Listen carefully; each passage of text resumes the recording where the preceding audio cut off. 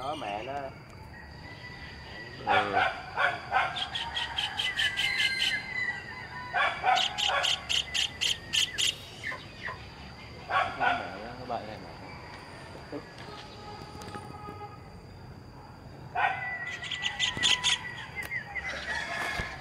Ừ. Hay ghê vậy, dạng ghê vậy. Ừ.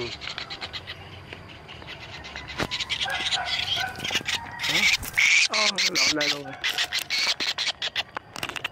Rồi Mua chán thả Mới thả sáng rồi.